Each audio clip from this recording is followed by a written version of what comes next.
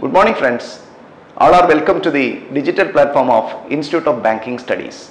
Today we are going to discuss about joint accounts in banks. Most of the times we may come across with certain doubts regarding conduct of such joint accounts. Let us see what are all the main major points in conducting such accounts.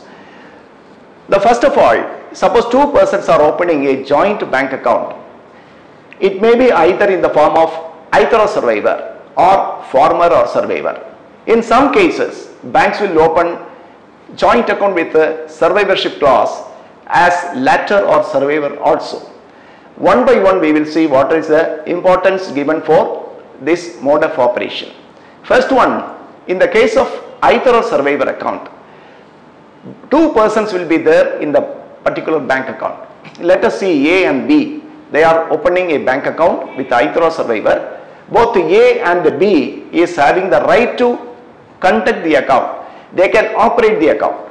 In the case of former or survivor, the first named party only can operate the account.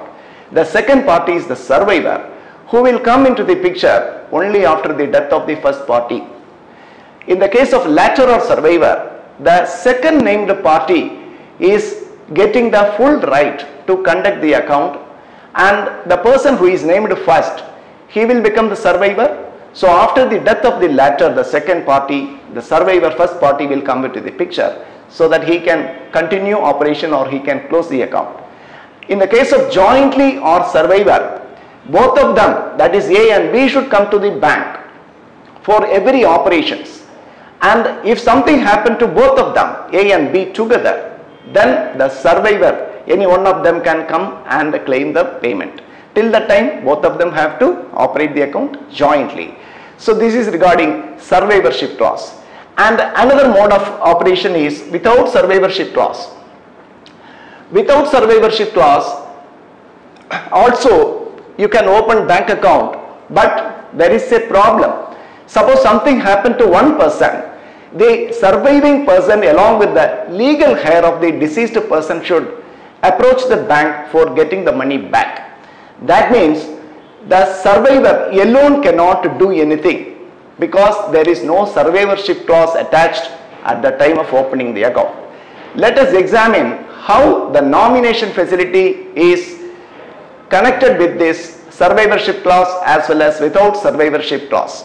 Suppose in the survivorship clause, nomination facility is added, then remember the nominee will come into the picture for claiming the amount of joint depositors. Suppose A and B opened a deposit account jointly as either or survivor and they have nominated Mr. C as the nominee. Suppose something happened to A, B as the survivor can claim the amount, there there is no prominence for the nominee Mr. C. Mr. C can come and claim the amount only after the death of A and B both. So only after the death of the depositors, nominee is come into the picture, then only he can claim the amount. Here you see upon death of one of the depositors, the survivor can withdraw the deposit without any legal formality. Upon death of all the depositors, the nominee can withdraw the balance available in the deposit account. So remember, in the case of a joint account with the survivorship clause and with the nomination, the nominee will come into the picture only after death of all the depositors. We will now see what is the provision for survivorship without survivorship clause and with nomination. Suppose without survivorship clause with nomination, upon death of one or more depositors, legal heirs together with the surviving depositor can claim the amount. We can take one example.